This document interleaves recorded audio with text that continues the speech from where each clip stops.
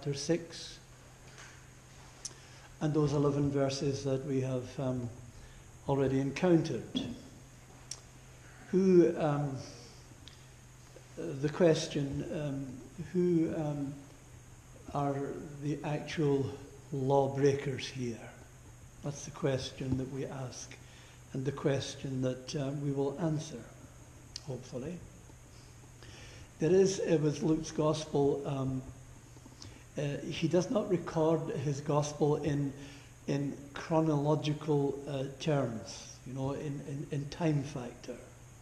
Uh, Jairus' uh, daughter would normally be inserted here, but Luke, he deals with that much later on. And what he inserts here, uh, Luke does for his own purposes it seems to me that what Luke does is he groups certain events together because there is a, a, a sort of common um, theme or common thread, if you like. And of course, uh, what is happening here is just another attack of the Pharisees and scribes, the Jews, the religious hierarchy uh, coming against the Lord Jesus Christ here. In fact, we have two separate occasions uh, recorded in these um, 11 verses.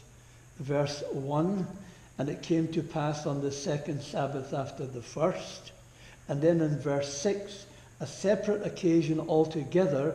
And it came to pass also on another Sabbath. So it's two incidents, and it's the same uh, forces that are coming against the Son of God, and the charge on both occasions is the same it's that of Sabbath breaking. That is, of breaking the moral code, the divine law of God, which of course is a charge of great severity. Because remember that um, uh, who we're talking about here is the Son of God, is the Son of Man, is our Lord Jesus Christ, our sinless Saviour. Now, if these charges are true, uh, that are indicted against him here, then that means that would mean that he is no longer sinless, and that would mean that he could no longer be our Saviour. He would be accountable for sins of his own. And of course, could account only for his own sins, and certainly not for that of others ourselves. But of course, that's not the real issue, is it? That's not what the, the problem is with these Pharisees and scribes, these doctors of the law. The problem is Jesus himself. It's his person, you see, um, that they hate and despise. They cannot stand the sight of him. It's his authority. You know, he comes speaking as one who has authority, not as the scribes and Pharisees. But I say unto you, he says, as he goes through the Sermon on the Mount, you have heard it said of old. That's not a reference to the Old Testament. That's not a, that's not a reference to, to the commandments, to the law of God when he says, You have heard it said of old, he's talking about what the Pharisees, what they have been relating to them from former uh, rabbis and teachers of the law. You have heard it said, but it is not true. It is not in accordance with the divine law. But I say unto you, I, the highest authority that there is in the universe, in the world, in eternity, I, the Son of Man, I say unto you, and they hate that authority with which he speaks. And of course, his uniqueness as God's full and final revelation to mankind. Jesus is God's last world, word, sorry, to a world of ruined sinners. You reject that final word and you reject God, finally. And so the issue is one of fear. They're afraid of their position, they're afraid of their own authority, because men and women are flocking to hear the Son of God and their hatred for him. And so they come with this double whammy, this double charge of Sabbath breaking, uh, contravening the law of God. And as you read the gospel narratives, Matthew, Mark, or Luke, you see these men constantly harassing the Son of God and coming after him. And you see that conflict is inevitable. It is building up like a storm ready to break. And as the storm gathers, the hostility builds up and gets stronger and stronger. He's testified, if you go back uh, to the previous chapter, to verse 14 of chapter 5, and he charged him to tell no man, but go and show thyself to the priest and offer for thy cleansing according as Moses commanded for a testimony amongst them. He sends the healed man back amongst the religious hierarchy as a testimony a testimony against their unbelief and their impotent religion. And they have no answer for it. They accuse in verse 21 of blasphemy, and the scribes, the Pharisees, began to reason, saying, Who is this which speaketh blasphemies? Who can forgive sins but God alone? They accuse him of blasphemy, but of course that's a trumped up charge as well because he is, as he tells us here in our passage this evening, he is the Son of Man. That's not a reference to his manhood. That's not a, that's not a reference to his human nature. That harks back to Ezekiel. That harks back to Daniel chapter 7. The Son of Man, the Ancient of Days, who has an everlasting kingdom. That's a testimony to his deity. It is God Almighty manifest in the flesh who stands before them and pronounces that forgiveness.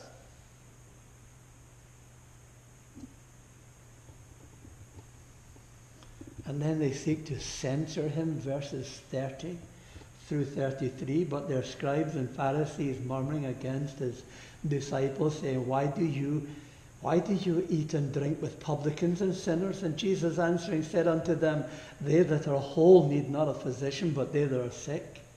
I came not to call the righteous, but sinners to repentance.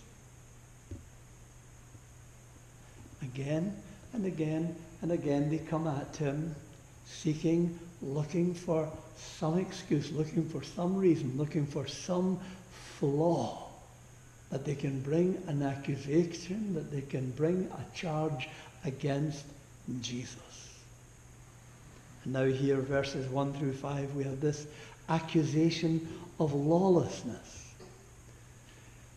The phrase, the second Sabbath after the first, is a is a, a strange, an anomaly. It seems uh, the Greek word in the, the original New Testament, well, it translates literally second first. It's a word not repeated again in the scriptures or in on classical Greek uh, writing.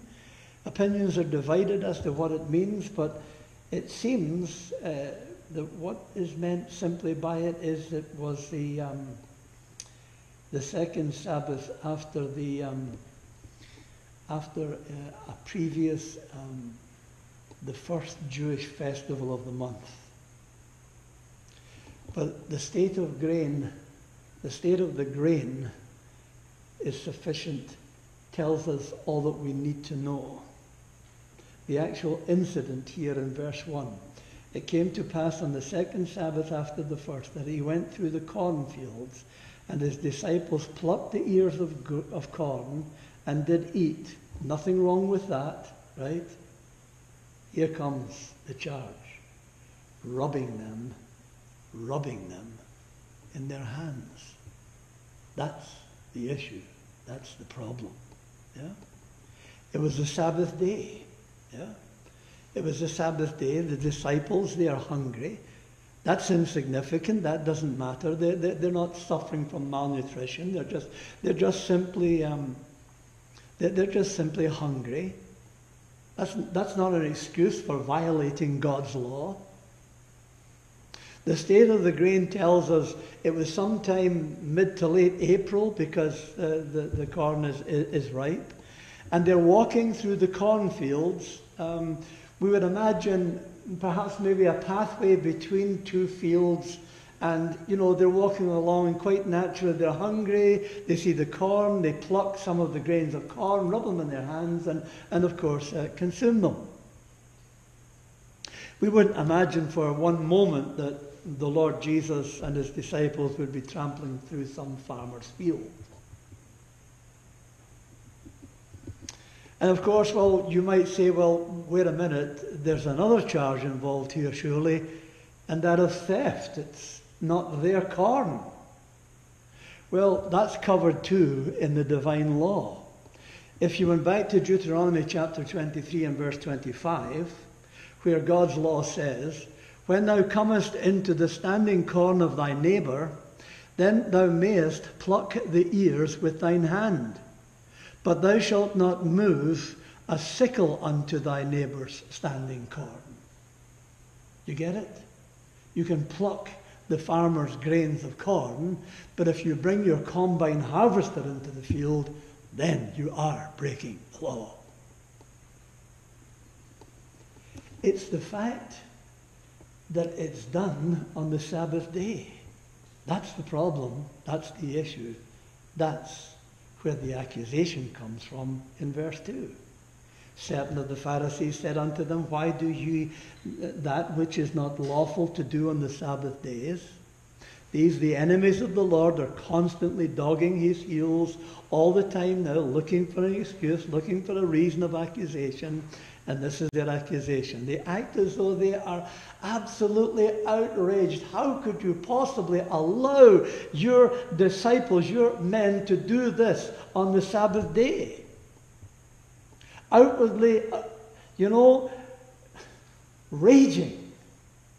But inside in their hearts, they're absolutely delighted because we've got a charge against him now. Because anything that the disciples of Jesus do with his silent consent is as good as done by him. You see? And the charge, remember the Sabbath day to keep it holy, contravention of that Sabbath law. But of course, they don't mean that Sabbath law as you and I would understand it.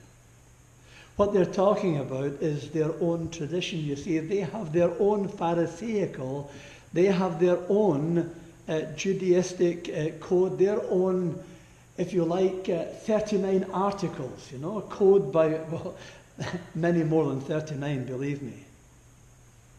And it's this rubbing, going back to verse 1, it's this rubbing the corn in their hands. If they simply plucked the corn and, and ate it, there would be no problem.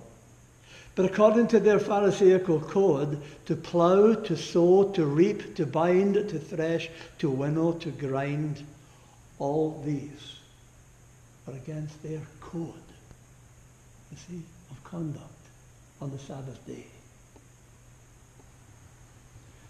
So Jesus answers them, verses 3 through 5. Answering them, said, Have you not read so much as this? What David did when himself was hungered, and they which were with him, how he went into the house of God and did take and eat the showbread, and gave also to them that were with him, which is not lawful to eat, but for the priests alone. And he said unto them that the Son of Man is Lord also of the Sabbath. Jesus illustrates his point, his principle. Uh, he's going back to 1 Samuel chapter 21. Have you not even read this? You see? Uh, Jesus, he very easily and very simply proves that he and his disciples are well within the confines of the divine law. But yes, yes, against their code, uh, their additions to the divine law, I mean. And he brings out the fullness of the principle that's involved with this incident with King David back in 1 Samuel chapter 21. Have you not read, he says, have you not read so much as this? Is there a, um, you know, is there a barb there? You know, haven't you read even this much of Scripture? Oh, oh plenty of rabbinical reading. This was their teaching, you see. This was their authority. When these Pharisees and scribes were teaching the people, they, would, they wouldn't be quoting the divine law. They wouldn't be quoting 1 Samuel or Jeremiah or Isaiah. They would be quoting Rabbi so and so says such and such. Haven't you read even this? Maybe, perhaps, maybe a maybe a, a, superficial reading of, of 1 Samuel 21, a, a, cursory, cursory glance at it, you know, superficially, and just passing it over without giving any serious thought as to what took place there. They failed to see and to understand the principle upon which King David was operating. They have, you see, they had only a fractional view of Scripture. And that is a very dangerous thing. David, you see, and his followers, uh, you recall the occasion when he's fleeing from King Saul. And he wants food from Ahimelech, the priest, and uh, for he and his men, and he wants uh, some weaponry, some, some armor, and, and a sword. If you recall, he was given uh, Goliath's sword. Well, David and his men, you see, were not starving. They were not suffering from malnutrition either, as were the disciples of the Lord Jesus. They were hungry. That's enough. So, what did David do? Well, his conduct, you see, rests upon the principle, and this is important this principle that in exceptional cases where the moral law and the ceremonial law yeah? When the two of them clash, the latter, the ceremonial law, must yield to the moral. Because the ceremonial is simply a rite, R I T E, and the rite is just simply a means, whereas the moral law is the end. So when there's a conflict between the two, it's the end, it's the moral code that takes priority. But with this crazy Phariseeism, they were always prioritizing the means, the rite, above the moral code. God's concern is for the heart of man. God's concern is for man. The Sabbath law, the Sabbath principle is given to us for man and for man's benefit. Now, if King David's hunger, he and his men, if their hunger can lay aside a divine ceremonial regulation, then the disciples of the Lord Jesus, their hunger can certainly lay aside the rabbinical notions of these mad, crazy Pharisees. They could do it when it suited them. If you turn over a page or two to Luke's Gospel into chapter 13 and to verse 10. and he was teaching in one of the synagogues on the Sabbath. And behold, there was a woman which had a spirit of infirmity 18 years and was bowed together and could in no wise lift herself, lift, lift herself up. And when Jesus saw her, he called her to him and said unto her, Woman, art thou loosed from, from thine infirmity? And he laid his hands on her, and immediately she was made straight and glorified God. And the ruler of the synagogue answered with indignation because that Jesus had healed on the Sabbath day and said unto the people, There are six days in which men ought to work. In them, therefore, come and be healed, and not in the Sabbath day. Then the Lord answered him and said, Thou hypocrite. Doth not each one of you on the Sabbath loose his ox or his ass from the stall and lead him away to watering? And ought not this woman, being a daughter of Abraham, whom Satan hath bound, lo, these eighteen years, be loosed from this bond on the Sabbath day? Damnable hypocrites. That's all they were.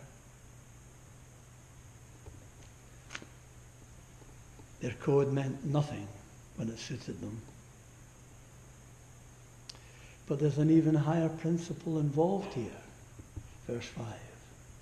And he said unto them that the Son of Man, God, the Son of Man, is Lord also of the Sabbath. Even if he had, and he had not, but even if he had contravened the Sabbath law, there would be no guilt attached to him because the Son of God, the Son of Man, has the Sabbath at his own disposal and his men are in his service on the Sabbath day. But rest assured that the Son of God, along with the Father and the Holy Spirit who instituted the Sabbath principle for man's benefit, would be the last would be the very last to violate that principle. So, secondly, we have the actual fulfillment of the law, verses 6 through 10. And it came to pass also on another Sabbath that he entered into the synagogue and taught, and there was a man whose right hand was withered. And the scribes and Pharisees watched him whether he would heal on the Sabbath day that they might find an accusation against him. Here is Jesus once again. It's his habit, it's his custom. He's in the Lord's house on the Sabbath day, uh, where we should be too. And uh, here is a man with a withered hand. It's uh, so deformed, it's so broken, it's so useless, it's, it, and it's beyond, in medical terms, uh, in, in such days as these, it was beyond restoration. And there are these holy, holy uh, uh, Pharisees and scribes, and they're in God's house. But they're not, alas, they're not there to worship God. They're not there to praise the true and living God. They're there watching this man to see if they can find an accusation against him. Most holy business. Will he heal or will he not? Will we get him? this time. Their question, you see, was always, always, always, is it legal? Is it lawful? Yeah? Is it right? They never, the question never entered into their heads, is it merciful? Hmm? That never entered into their thinking. So the answer that Jesus gives is that, you know, that the actual fulfillment of the law, the divine principle, the Sabbath law, is positive, not negative. The Sabbath principle was instituted for the blessing of mankind. And prior to being sanctified as the Lord's day, you know, as part of the Mosaic law, it was given way back with the creation mandate, Genesis chapter 2.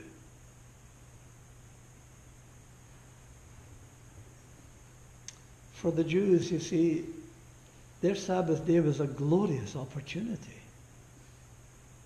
An opportunity to show to all around them, you know, that they were God's people. Isn't that a testimony that's needed today amongst, you know, professing Christians? I mean, isn't it a testimony, you know, that, that when, when your neighbours, you know, your, your friends and your neighbours, when they, they, they, they see you coming out to church with your Bible in your hand, they know where you're going, you know? And, and, and when Monday morning comes and the discussions at work, you know, what did you do? Like, you know, and, and the weekend's opportunities and activities. Are they no better than the world, you know? Uh, did Manchester United beat Manchester City or, or, or you know, or, or, or, who was playing golf, you know, or, or what was on the, the, the television, you know? No, I, I, I was amongst the Lord's people, praising and worshipping God. It's positive. It's a time, beloved, it's a time to be to come apart from the world and all its activities and to be with the Lord, to worship and to pray and to listen to and to read the Word of God, to be in church amongst God's people. Negatively, it needs we need to guard against the tendency for it to generate or degenerate rather into a slavish formalism that denies all humanity.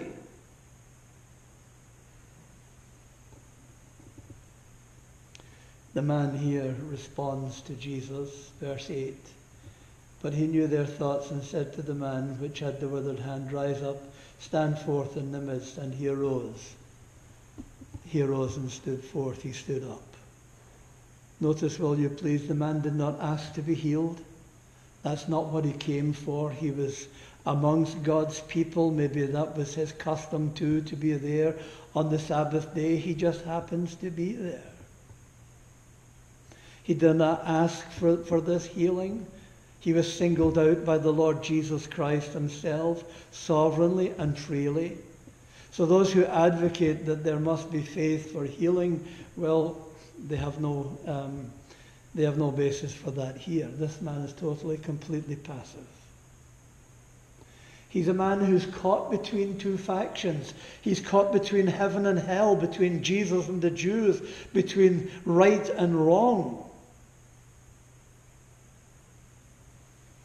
Jesus knows what they're thinking,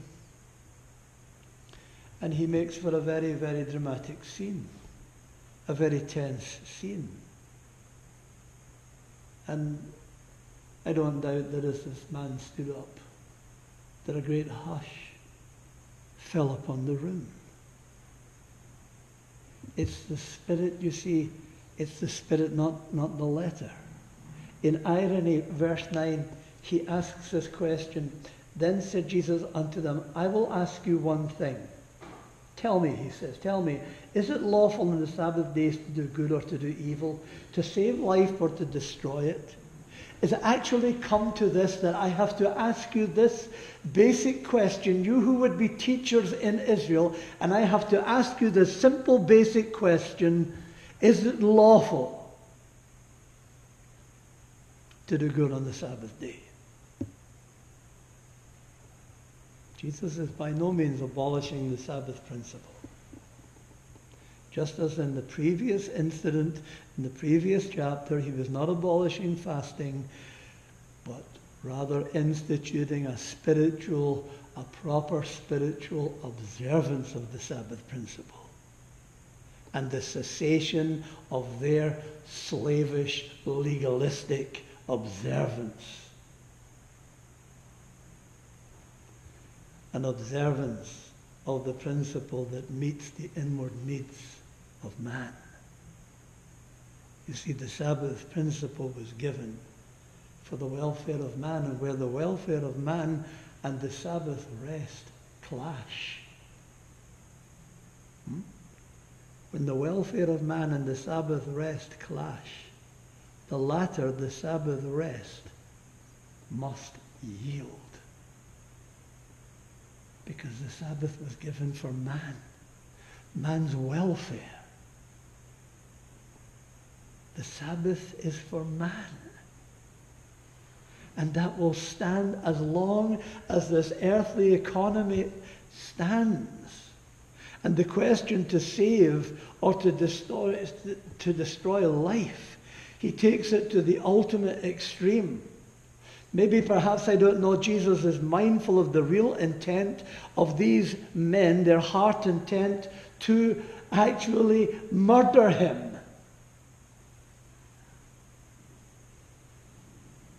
He goes to the highest point of moral excellence, and that is to save life.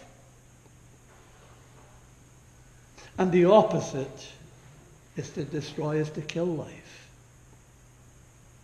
Jesus could have taken a child, a young child, out of that congregation if there was such a one there. And he could have set that child in the midst of them. And he could have posed this question to that child, and he would have gotten the right answer without the batting of an eyelid. but anything but silence would have convicted and condemned they themselves. Jesus shut the door on them, and they had no escape. It's right, it's wrong, not wrong. His eyes pass over the congregation, verse 10. And looking around upon them all, he said unto the man, Stretch forth thy hand. And he did so, and his hand was restored as whole as the other. As his eyes pass over, as he gazes upon them, doubtless the tension builds up as he waits for a response from just one single person. One single person. Is it right or wrong?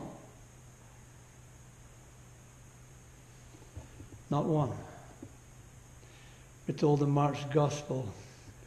And when he had looked around about them with anger, being grieved for the hardness of their hearts, he said unto them, unto the man, Stretch forth thine hand.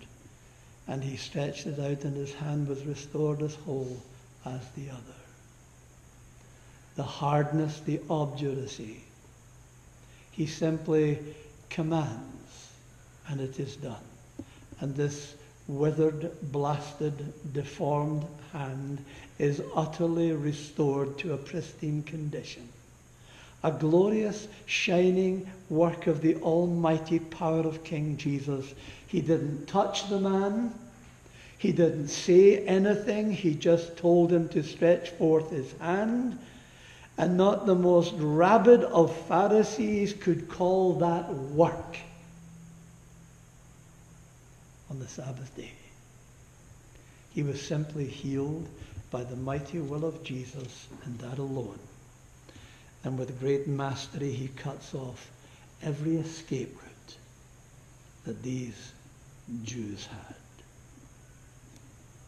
So, who, who are the breakers of God's law here? Verse 11 the active and willful violation of the command and they were filled with madness and communed with one another what they might do to Jesus. You would think this act of kindness, you would think they would all be rejoicing. You would think they would all be uh, maybe even clapping, praising God. Look at this. The man's hand has been healed. He's whole.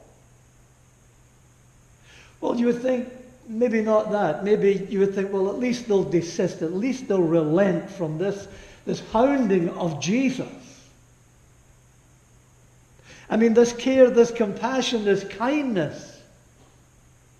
No, on the contrary, what it has done, it has robbed them of their grounds of accusation against him. And so it only serves to anger, it only serves to enrage them the more. Oh, it was wrong for Jesus to heal on the Sabbath day, but it wasn't wrong for them to be there in God's house spying upon him. It wasn't wrong for them to be sitting there burning with rage against him, murderous rage. I suggest to you that they are the ones actively and willfully violating the divine commands of God. They are consumed with madness, filled with madness. More, much more than anger. Their sense and their reason has gone out the window. And the more sensibly, the more rationally, the more intelligently Jesus seeks to speak to them and deal with them, the crazier they become. And you see how the very presence of Jesus and the work and the word of Jesus, you see how that it reveals, you see how it brings out the natural state of the human heart. Hmm? The truth and goodness and salvation of God ought to have the opposite effect, ought to have men rejoicing, ought to have men trusting in the Son of Man. But alas, this is the condition of all men, is it not? As they're naturally born into this world. I mean, when men prefer the law, when they prefer religious law to the lawgiver, surely their sin is exposed. to these men, the law was an end in itself. It was something for them to guard. It was something for them to use to manipulate other people, to put burdens upon other people that they themselves could not endure. To minister to others. Beloved, the law is the servant of grace. It's our schoolmaster. It could never save us. It could never restore us to God. It was given to lead us to Jesus Christ our greatest need. But of course, you can't manipulate him. And that's why men prefer the religious laws. So here they are conspiring to mischief. Still in verse 11, they communed with one another. They're conspiring together how they might get rid of this man Jesus.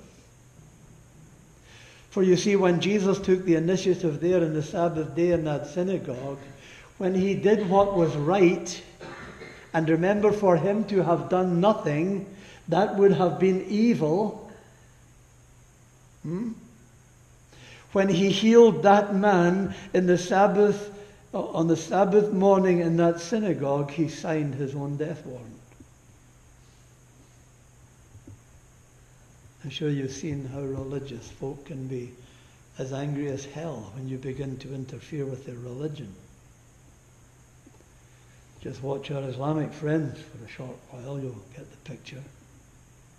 So blinded, so blinded by their idolatry to the law.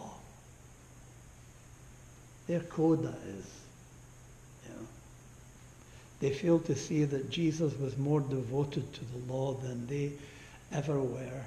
They, he fulfilled the law. He fulfilled all righteousness. All they did was simply observe it. It was for other people to do the obeying. So you see how that they plotted, they schemed, they conspired murder against Jesus on their Sabbath day, a most holy business indeed. This, beloved, constitutes murder. Because Jesus tells us, and will tell us in later verses in the same chapter, that the lust and passions leading to actual murder, the anger.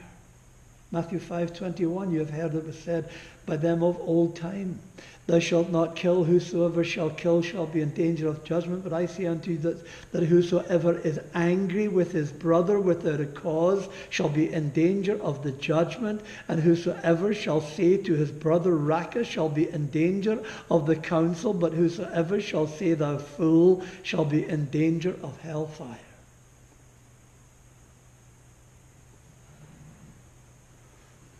The anger in men's hearts against their fellow man, you see, is as wicked as the actual act of murder. It's the sin of the heart against the fifth commandment thou shalt not kill. Anger is equal to murder and makes us worthy of hell. So you see, they've already violated God's command or God's commands, all of them they had already murdered the Lord Jesus long, long before they got him to the cross.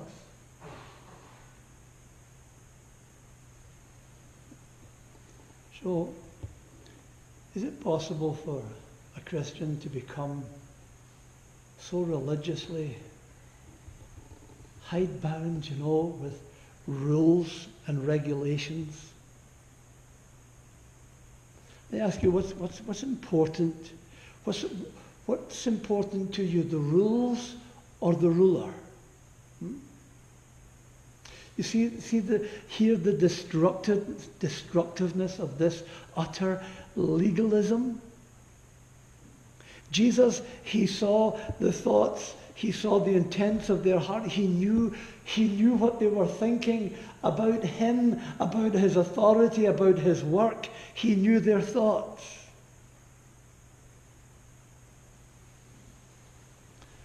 And as he gazes round the room here this evening, amongst us, what does he see in our hearts for him? Do you love him? Do you love him? He's altogether lovely.